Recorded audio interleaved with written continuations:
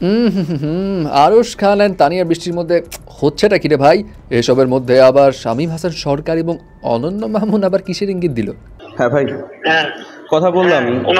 ওরা বলল যে ভাই এটা এটা পসিবল হবে না কারণ হচ্ছে অনেক জায়গায় চলে গেছে তো অনেকে রাইট ম্যানেজারে আছে সো এতগুলো ভিডিও আসলে এগুলো এভাবে রিমুভ করতে পারবে না। মানে মানে ফেসবুক থেকে নাইনটি পার্সেন্ট রিমুভ করলেও হয়।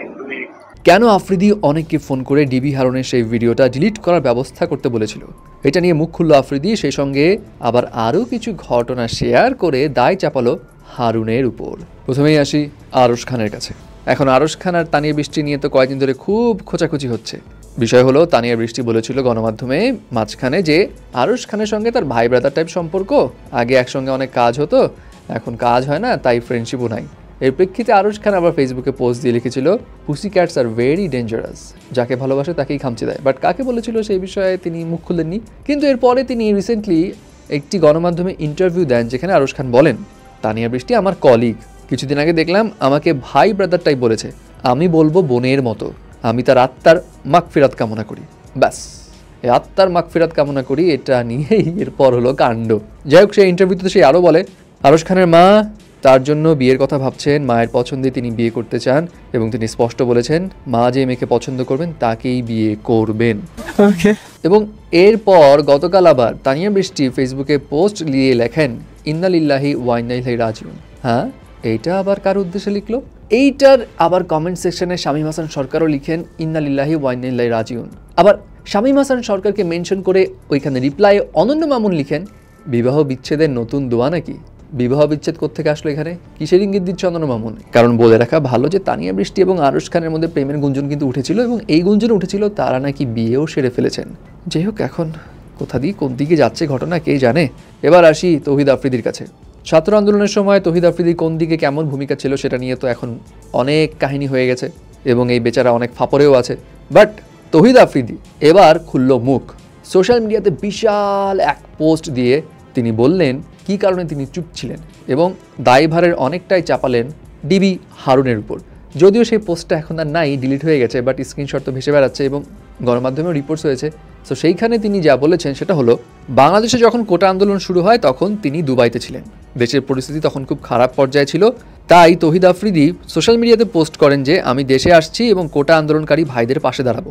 এবং তহিদ আফ্রিদি লিখেন, এই পোস্ট করার পরও আমি তেমন কোনো সমস্যার সম্মুখীন হইনি।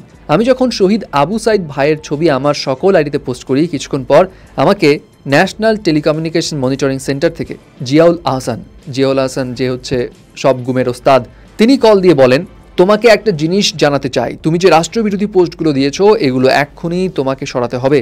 তোমার সাথে কে কে যুক্ত এগুলোতে? আফ্রিদি লিখেন, এটা শোনার পর আমি সাথে সাথেই ফোন কেটে দিই, কিছুক্ষণ পরই আমাকে ডিবি হারুন কলে করে বলে, এই, তুমি কাল কল কাটছো, তুমি জানো? তুমি, তোমার বাবা, তোমাদের টেলিভিশন সব শেষ করে দিব। এখনই ওনাকে কল ব্যাক করো, যা বলে শোনো। আফ্রিদি বলেন, আমি ভয়ে পোস্ট ডিলিট করে দেই, আমার এখনও মনে আছে আমি সেদিন ভয়ে আমার পরিচিত কারোরই ফোন ধরিনি।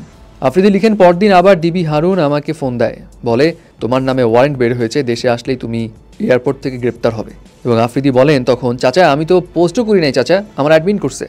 আফ্রিদি লিখেন, যদিও পোস্টে আমি করেছিলাম, কিন্তু তখন ভয়ে আমি তাকে মিথ্যাটা বলি। এটা শোনার পর উনি আমাকে বলে, তোমার ওইসব অ্যাডমিন সরাও। এরপর, ডিবি হারুন, আফ্রিদিকে এটাও জানান, আফ্রিদি দেশে আইসাই তুমি আমার সাথে আগে দেখা করবা। তোমার নামে কিন্তু জঙ্গি মামলা হয়েছে আফ্রিদি বলেন, বিদেশে থাকা অবস্থায় এই সব কিছু নিয়ে তিনি তার বাবার সঙ্গে কথা বলেন এবং তার বাবা আফ্রিদিকে বলেন, তোমার ফেসবুকে পোস্ট করা লাগবে না, তুমি দেশে আসো, দেশে এসে রাস্তায় নামো, তাহলে আর কোনো সমস্যা নাই।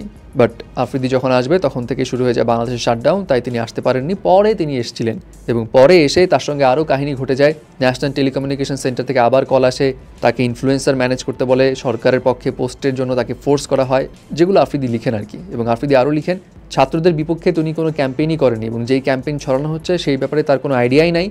তাকে ফোর্সফুলি কয়েকটা ছোটোখাটো ইনফ্লুয়েন্সারদের নিয়ে একটা মিটিং করানোর অ্যারেঞ্জ করতে বলা হয়েছিল। এটাই। এবং এরপর আফ্রিদি, ডিবি হারুনকে নিয়ে আবার বলেন, বাংলাদেশে এসে যখন তিনি ডিবি হারুনের সঙ্গে সাথে সাথে দেখা করেননি, ঠিক সেই সময় ডিবি হারুন আফ্রিদকে কল দেয় এবং বলে তোমাকে দেখা করতে বলছিলাম না, তুমি দেশে এসে দেখা করলে না কেন? তোমার নামে যে মামলা হয়েছে, এটা একটা ব্যবস্থা তো করতে হবে, তাই না?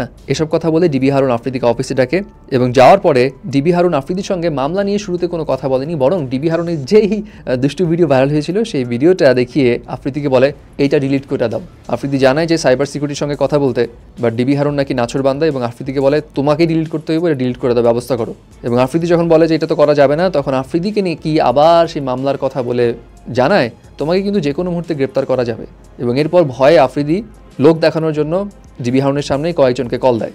এবং ইতিমধ্যে আপনারা জানেন যে সোশ্যাল মিডিয়া স্পেশালিস্ট ইমরান আফ্রিদির একটা কল রেকর্ডের ভিডিও ভাইরাল করে দেয়, যেখানে আফ্রিদি ইমরানকে বলে যে কীভাবে ডিবি হারুনের সেই ভিডিওটা ডিলিট করা সম্ভব।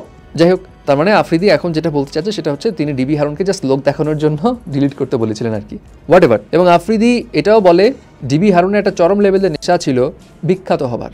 এবং আফ্রিদি বলে, যারা ডিবি হারুনের সঙ্গে সক্ষতা করেছে বা ডিবি হারুনের সঙ্গে মেলামেশা করেছে বা সুযোগ সুবিধা নিয়েছে, তারা জানে ডিবি হারুন তাদেরকে কীভাবে বিভিন্ন সময় ব্যবহার করত এবং তাদেরকে নানাভাবে ভাত খাইয়ে ভিডিও ছেড়ে নিজে ফেমাস হওয়ার ট্রাই করতো। যাই হোক, এখন আফ্রিদি তো ডিবি হারুনকে উদ্দেশ্য করে তার মেসেজ ড্রপ করল বাট বোধ হয় তার এই মেসেজটা সবাই ঠিকমতো এখনও হজম করতে পারেনি। যার কারণেই আলটিমেটলি আফ্রিদিকে এই পোস্টটাও ডিলিট করতে হয়। এখন আপনাদের কি রিয়াকশান এই সব কিছু নিয়ে আপনারাই বলুন।